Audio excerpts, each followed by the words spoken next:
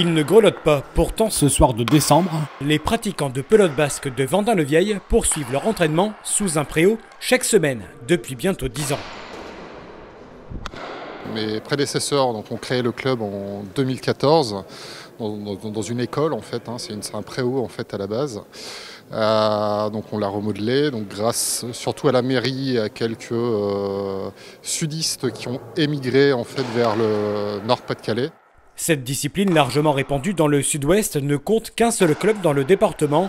Ailleurs, on joue fréquemment avec ce gant en osier appelé Chistera. Ici, une vingtaine d'adhérents s'exercent pour le plaisir, sans compétition calendrier, par paire et sur trois murs. C'est très simple en matériel, on a une raquette en bois, euh, c'est vraiment du bois, rien de, rien de spécial.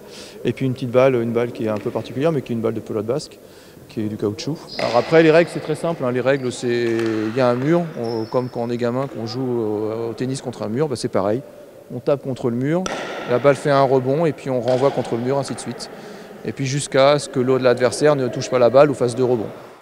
Des cours sont dispensés par des professeurs de l'école Jules Ferry pour les jeunes le week-end et la licence ne leur coûte absolument rien grâce au passeport. Une aubaine dont plusieurs profitent et les filles semblent avoir saisi la lecture du jeu.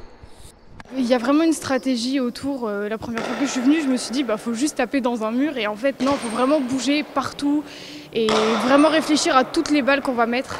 Nous, on aime bien tirer sur euh, le mur de gauche pour que ça rebondisse là et la mettre juste là dans le coin, la balle.